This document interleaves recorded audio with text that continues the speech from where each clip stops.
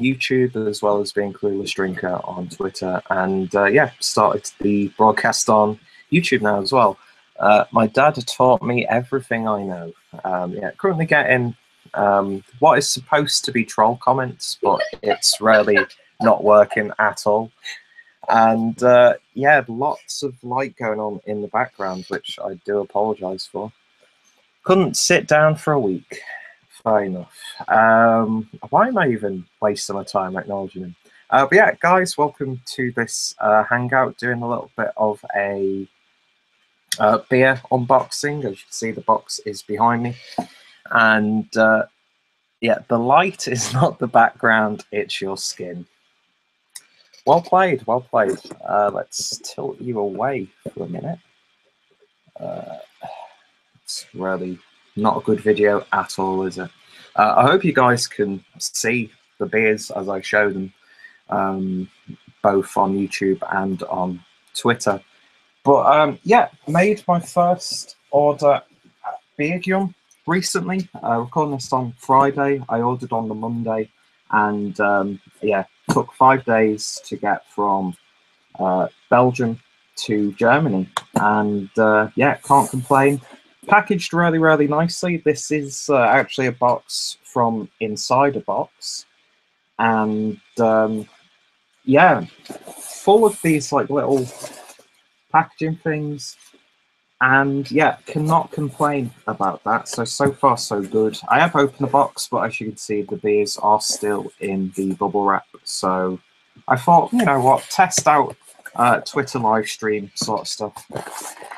And uh, yeah, do a live video as well. Get you know the channel out there a little bit more. So to kick things off,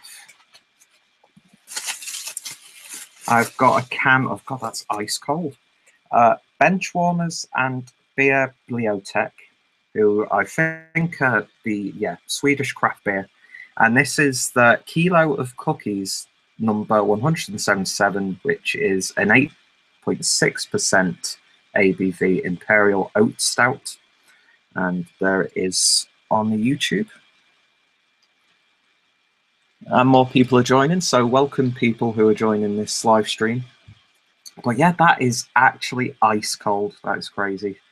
Um, well, not crazy because it's absolutely freezing here in Germany and it's really dark on camera. A lot brighter on the phone, which is really good. Uh, but yeah, anyway, uh, quickly read you the description. Uh, collaborations are an integral part of our brewing philosophy. This time round, our friends from Benchwarmers Brewing Company joined us at our brewery for more than just tea and cookies. The beer is dedicated to our brewery dogs, Kilo and Cookie. Hashtag Nelson. I think that says. So I think they like literally put like a big load of um, oat cookies into this beer. So um, sounds absolutely fantastic. Looking forward to that. And uh, yeah, lovely, lovely artwork on that can. So I'll put that on the floor. Next up, we have a bottle of Duchesse de Bourgogne, which is, I think it's along lines of like a, a Belgian ale, and uh, Duchess of I'm not too sure the translation of that. Uh, I don't even know who brewed this one. I think I just ordered this one because it was the cheapest and it was uh, bulking up an order, so it rounded up. I think uh, brewed by the the Higer. Is that? Uh, apologies for the butchering of these titles, but um, yeah, lovely little artwork. I think this is basically a um, like a sour Flemish red ale and uh, yeah, clocking in at 6.2%. So um, yeah, it should pack a little bit of a punch. And I hope it is a sour because I'm really enjoying the sour beers. But yeah, very pretty looking bottle indeed. So there's that one.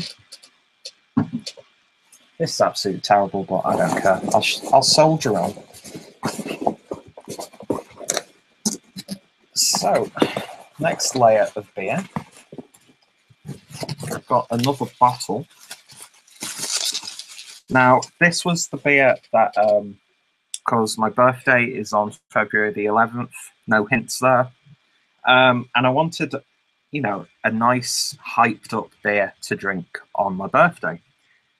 And uh, yeah, so this was the main one, and this is the collaboration between Omnipollo, uh, Siren, and Dave Stacken, who was essentially, um, I think Omnipollo do like a homebrew contest. A lot of breweries do that, and uh, the winner obviously gets to go to um, is it Dugges where they brewed this one, and they brewed the beer that they did, and uh, yeah, Omnipollo really wanted to try a lot of the hyped up beers. I mean, I picked up a couple in this box um, because I've really wanted to try their stuff. The only one that I've tried by them is the collaboration that they did with um, Brewdog, which was the flat pack. Um, I can't remember what style it was. It was very tart though, quite nice. Even though I was drinking that like towards the end of a drinking session in Liverpool, but um, yeah, so uh, yeah, this is Lorelei, which is a coconut maple toast imperial porter brewed with toasted coconut and maple syrup. Sounds absolutely fantastic, and uh, that artwork is really nice and simple too. Uh, 330 ml bottle, clocking in at 10.5%, so uh, definitely packs a punch. And uh, yeah, I've heard this is very hype worthy right now, so um, yeah, it's going to be hard me not drinking this um, until February. Let's just put it that way. But um, yeah, happy to get one of these hype beers from Omnipollo. They seem to be, you know, just doing an absolutely immense job. So then, next up, we have another Omnipollo beer, and this is the Zodiac India Pale Ale brewed. Uh, I think this is um, Mosaic, is it, that they primarily used with this one? Uh, do, do, do, doesn't really say. Doesn't give you an ingredients list. But yeah, I wanted to try just like a, a regular IPA from these guys. And uh, people who are watching this on Twitter can definitely see that that's hazy in the bottle, but it's a bit, bit too dark. I should have filmed this a different way on uh, the MacBook. But uh, yeah, absolutely stunning artwork once again. And uh, yeah, IPA clocking in at 6.2%. And uh, yeah, not that ice cold beer. So, what have we got next?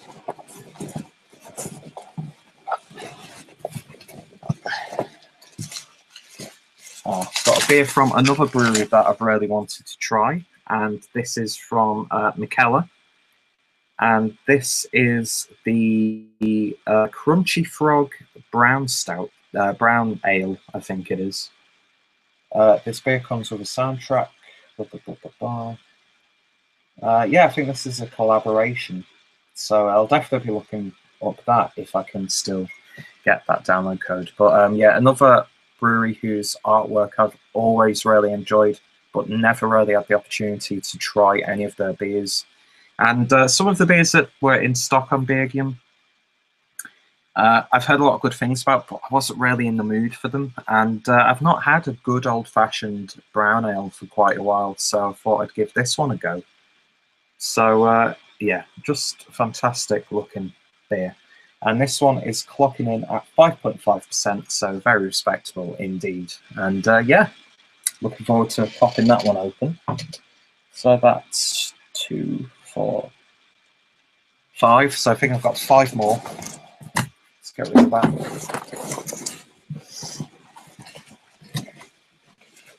back over to Sweden for another Omnipollo beer. And uh, I think this is, is it another IPA? No, yeah, yeah, it is. An Imperial IPA. And this is the Nebuchad, Nebuchad. I'm not sure how that is pronounced. Apologies about the mispronunciation. But um, yeah, very striking, simple artwork as well. Quite abstract. And uh, yeah, this is clocking in at 8.5%. So looking forward to popping this one open. Um, as if any of these beers I'm not looking forward to drinking. I don't know why I have to comment about them. But um, yeah, fantastic stuff. And I am seeing that people are joining the uh, Twitter chat thingy Um, massive, massive thank you, whether you're uh, an arsehole or a genuinely awesome human being for stopping by. So the sound's probably a bit waffled because my microphone on my iPhone is standing on top of my MacBook. But I just wanted to give this a try and thought this would be a great excuse. So, next up, and we've gone over to America this time, and we've got Great Divide's Yeti Imperial Stout. Uh, another beer brewery that I've heard a hell of a lot about, and uh, I know that the various barrel aged versions of the Yeti Imperial Stout are highly, highly regarded. Um, I did actually see one when I was in Brewdog in Liverpool, but I hate it when you go to like bars and bottle shops when they don't have the prices for their beers. And uh, they didn't have a price for the Imperial Stout, uh, the barrel aged. I think it was the bourbon barrel aged version of this. And uh, I only found out, after, you know, like a few days later from uh, Craig over at Kent Beer Reviews that Brewdog was selling it for about eighteen pound, which you know I was absolutely snozzled um, when I was out in Liverpool that day, and uh, it would have been a massive mistake me carrying around an eighteen pound bottle of American craft beer. Um, and yeah, I'm a little bit when it comes to paying that much for a beer. I'm a little bit, you know, edgy about putting that much money down. But um, yeah, this was for a good price from what I remember. And uh, yeah, I think uh, Paul over at PA Brew News will definitely appreciate this one. So yeah, the Imperial Stout clocking in at uh, 12 fluid ounces, 350 ml bottle. Uh, 9.5%, so I've got quite a few heavy hitters and winter warmers in this little box. And uh, yeah, cool artwork. So uh, I'm glad that I can actually try a uh, Great Divide beer finally. And there's the the bottle cap. Fantastic stuff. So, what's next? Some of these I've forgotten what I've picked up. Uh, next up, we have got. Um, I don't remember this one, but it's got an absolutely fantastic label. This is ordained by Temple Brewhouse. Is that fantastic sort of black metal, doom metal sort of artwork there? And uh, yeah, this is a green tea Berliner Weisse. So um, I don't remember actually ordering that one, to be honest. Anyway, uh, yeah, looks really good. Uh, I'm guessing these guys are out of Is that Sweden again? Uh, apologies, I, have really got no idea, to be honest. Uh, but yeah, fantastic looking beer. Uh, of course, you really can't see it at all on the actual YouTube live stream. But yeah, looking forward to trying that one. Um, I've not had too many Ber- Berliner Weisse beers, and the ones that I've had have been a little bit meh, to be honest. But I do like my sour beers, and uh, yeah, looking forward to giving that one a try. You don't really. No, it's not. It's not Swedish. It's from Austria, you dick. Um, yeah, in collaboration with Lissa Press, which I'm guessing is a band. So uh, yeah, a few collaboration brews in this box set. So uh, yeah, another one that sounds intriguing, although I have really no recollection of actually putting that in my box. That's what she said.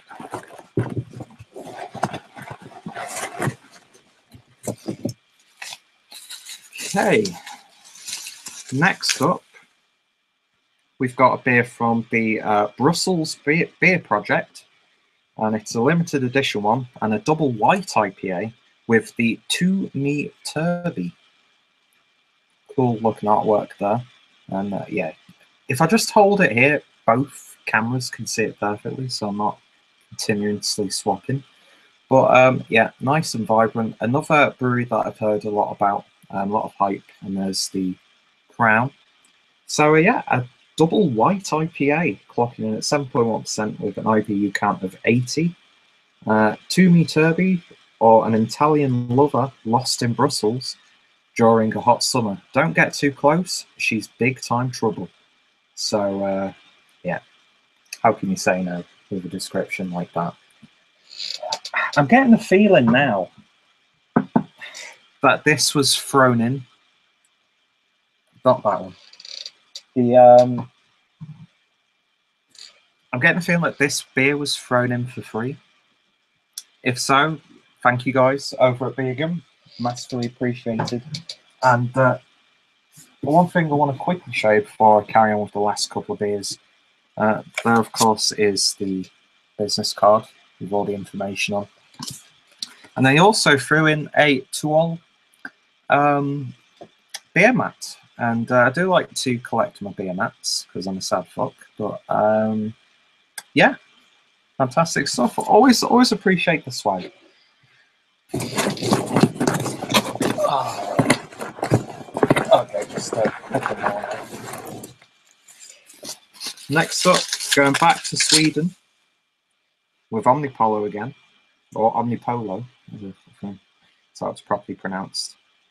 And this is the, uh, it's part of the Magic Number series, and this is the Patisserie Pale, which I think is um, a maple pale. I'm not too sure.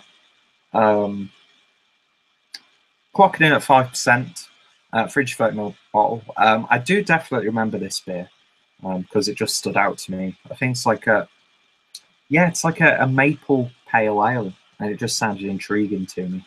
And uh, yeah, nice and simple. Nice crown on top. And uh, yeah, another one. You know, it's hard to get hold of Omnipollo beers for a good price, I find, especially here in Germany.